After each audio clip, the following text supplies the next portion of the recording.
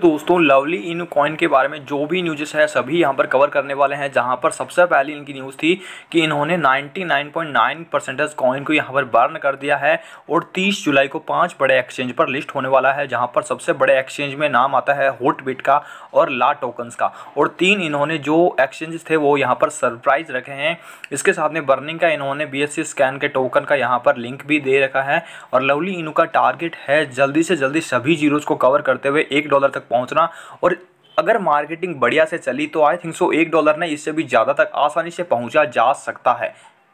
चार दिन पहले यहाँ पर देख सकते हैं P two P V two B exchange की तरफ़ से न्यूज़ आया था कि you can buy Lovely Inu tokens with USDT आप इनके इस एक्सचेंज लॉन्च पेड पर भी लवली इनू को खरीद सकते हैं, जो कि एक बहुत बड़ी हमारे सामने ऑफिशियल न्यूज़ है। टोकन्स का ऑफिशियल पेज है, जहाँ पर देख सकते हैं, इन्होंने भी यही ट्वीट किया था कि फ्राइडे जुलाई थर्टी को यहाँ पर ले टोकन पर लवली इनो फाइनेंस यहाँ पर लिस्टिंग होने वाला है। और बिट मार्ट एक्सचेंज का नाम तो आपने सुना ही होगा, जहाँ पर देख सकते हैं, एक जो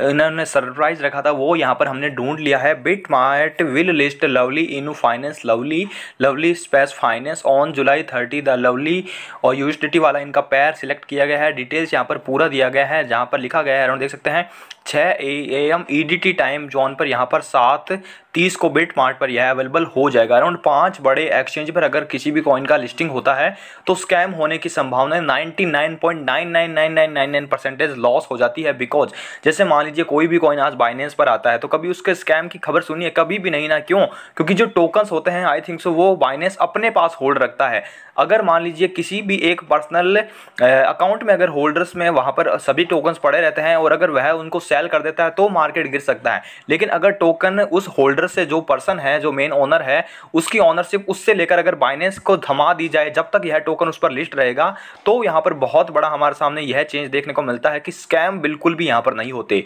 हालाँकि स्कैम की कई खबरें यहाँ पर आती रहती है, लेकिन अगर जो चीज़ एक्सचेंज पर लिस्ट हो जाता है, उसके बाद में उसकी स्कैम की मैंने तो अभी तक कोई भी न्यूज़ यहाँ पर नहीं सुनी है। और तो आपने सुनी ही होगी कि never put your all eggs in one basket मतलब आपके पास जितनी भी पूंजी हो, केवल एक कॉइन पर कभी भी न लगाएँ। क्या पता खुदा ना खास्ता उस दिन मार्केट नीचे रह जाए या फिर कुछ और समस्याएँ आ जाए, क्योंकि इन्होंने एयर ड्रॉप सेल्स का कहा था कि एयर ड्रॉप मिलने वाले हैं, लेकिन वो एयर ड्रॉप में बहुत बड़ी यहाँ पर डिले चल रहा है, कभी लेट हो रहे हैं, उसी की वजह से यहाँ पर कुछ लोगों को दिक्कतें सहना करना पड़ रहा है। तो यहाँ पर मैं तीस जुलाई से पहले कुछ टोकन्स और खरीद कर रखने वाला हूँ, उस देखते हैं, उसके बाद में उसका प्राइज कहाँ पर जाता है। तो ये थी हमारी बड़ी बड़ी पाँच छः खबरें हमने सभी यहाँ पर लवली इनू के बारे में बता दिया है और जो एक सरप्राइज़ एक्सचेंज थे तीन, उनमें से एक का हमने पता लगा लिया है और एक P two B two P ऐसे कुछ नाम से एक्सचेंज है उसके लॉन्च पर लॉन्च पेड पर भी वह अवेलेबल हो गया है। तो ये थी हमारी लवली इनू के बारे में सारी चीज़। अगर वीडियो अच्छा लगा हो तो लाइक कीजिए शेयर कीजिए सब्सक्राइब कीजिए। जय हिंद, जय भारत।